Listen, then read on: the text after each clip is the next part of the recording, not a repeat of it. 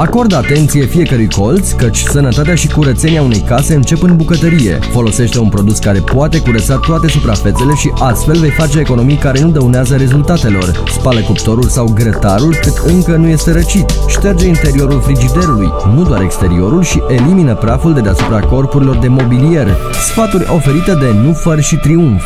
Împreună facem Casa Lună.